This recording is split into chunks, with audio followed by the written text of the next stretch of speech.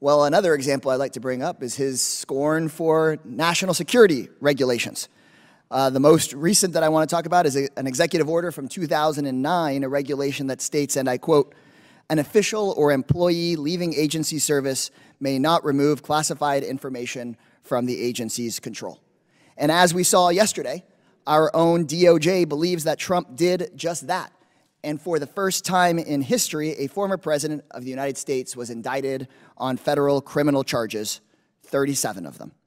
This is a serious and sobering moment, but it's important for us to re remember and recognize that after pressuring local elected officials to change election results and overthrow democracy in the White House for the first time in American history, and then after that didn't work and summoning his supporters to overthrow the government on January 6th, Trump left the White House with some of our most sensitive national security secrets, including information, according to the indictment, on things like nuclear weapons.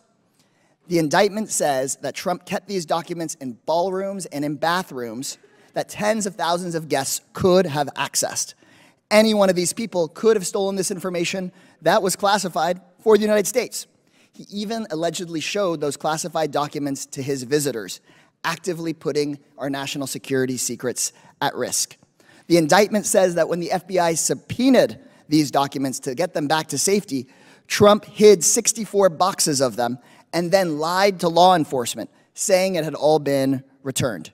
Such actions violate both federal laws and federal regulations, and these rules, like so many of my Democratic colleagues have discussed today, are to protect the national interest, to protect consumers, to protect workers, to protect kids in our schools, to protect our clean water and our clean air. We need to advocate and continue to advocate for the federal government to be able to advance common sense regulations.